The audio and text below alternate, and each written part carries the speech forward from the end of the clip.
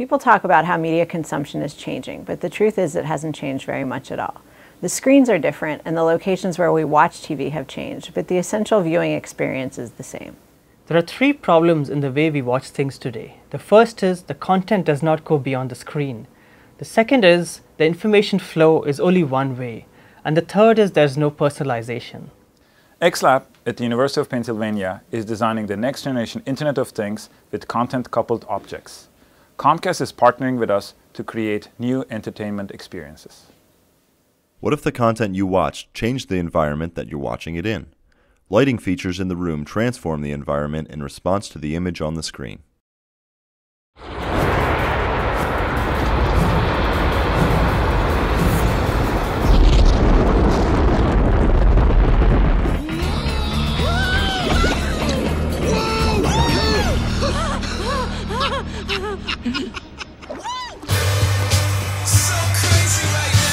So deep in your eyes. I touch you more, more every time. Malcolm Smith, all alone. No flags. Touchdown, Seattle. Viewers begin to feel like they're part of the action through haptic experiences delivered through a vest and the sofa.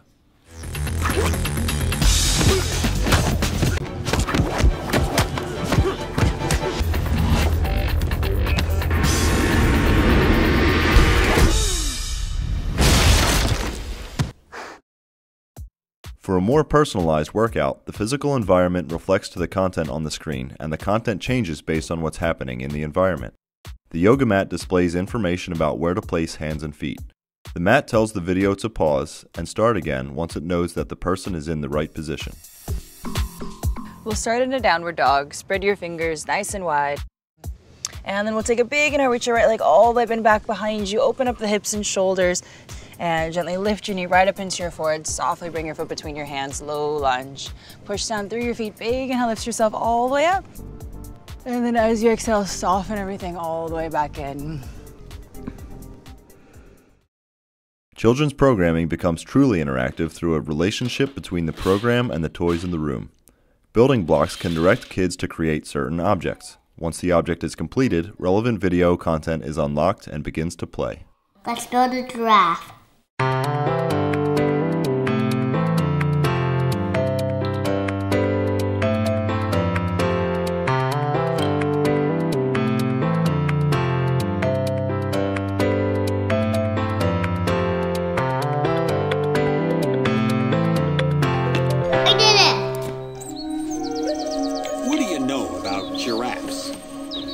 A giraffe can eat up to 75 pounds of food a day. Kids can activate the order and timing of a show with toys related to the show.